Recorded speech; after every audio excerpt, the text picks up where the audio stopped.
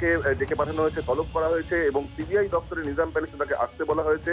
CBI তরফে ইতিমধ্যেই যেটা জানা যাচ্ছে যে চিনার পার্টি তিনি যেখানে রয়েছেন এই মুহূর্তে তাকে সেখানেই আজকে সিবিআই একটি দল যায় সেখানে গিয়ে তাকে নোটিশ সার্ভ করা হয় এবং সিবিআই তরফ থেকে একইভাবে মেল এবং তাকে ট্যাক্স করা হয় এমনটাই সিবিআই তরফ থেকে বলা হচ্ছে।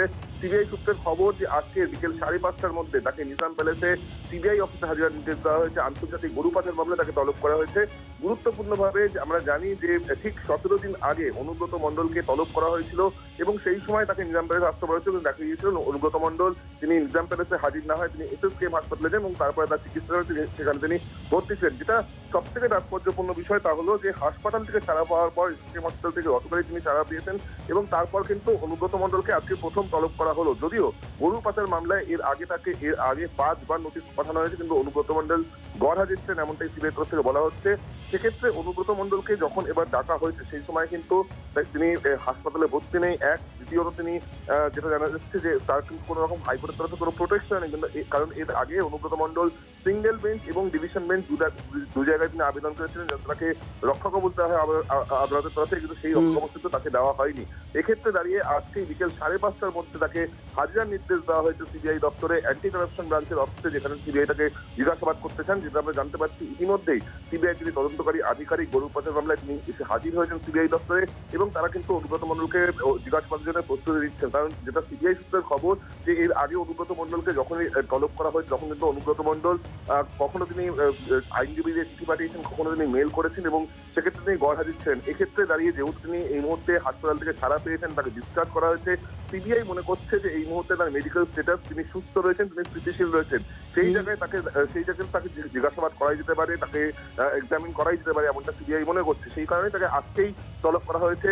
প্রাসঙ্গিকভাবে গতকাল এসএসকেএম হাসপাতালে গতকাল সন্ধ্যাবেলায় অনুব্রত মণ্ডল তাকে ডিসচার্জ করা হয় তিনি ছাড়া পান। এবং একবারই বিক্রম গতকাল এসএসকেএম হাসপাতাল থেকে ছাড়া পেয়েছেন অনুব্রত মণ্ডল এবং তারপর চব্বিশ ঘন্টাও পার হয়নি। তার মধ্যেই আবারও সিবিআই তলব। অনুব্রত মণ্ডল তার তরফ থেকে কি কিছু জানা যাচ্ছে যে তিনি আজ হাজির হচ্ছেন কিনা? সাড়ে পাঁচটার মধ্যে তাকে হাজির হতে বলা হয়েছে।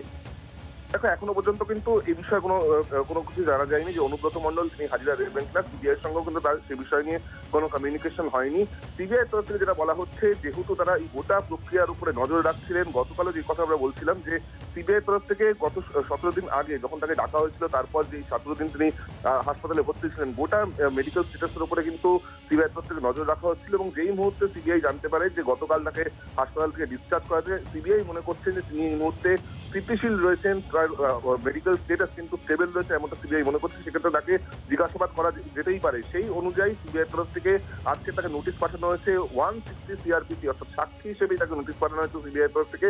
এবং বলা হয়েছে যে আজকের সিবিআই নিজাম প্যালেসে অ্যান্টি কারাপশন ব্রাঞ্চের যে দপ্তর সেখানে তাকে হাজির হতে হবে। সেখানে তাকে তদন্তকারীরা জিজ্ঞাসাবাদ করতে চান। কারণ গরু পাচার মামলায় যা সিবিআই সূত্রের খবর যে আগে যাদেরকে জিজ্ঞাসাবাদ করা হয়েছে অর্থাৎ ইনামুল হক সহ একাধিক ব্যক্তিকে জিজ্ঞাসাবাদ করা হয়েছে সেই জিজ্ঞাসাবাদে কিছু তথ্য উঠে আসে যেটা ভেরিফাই করার দরকার রয়েছে সেখানে অনুব্রত মন্ডলের নাম উঠে এসছে।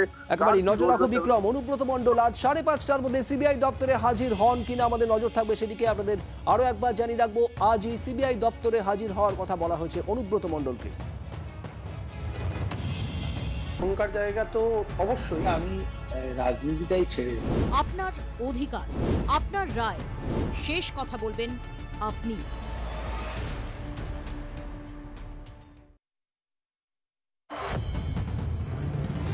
ছোট করে কয়েকটা খবর নয় খবরের গভীর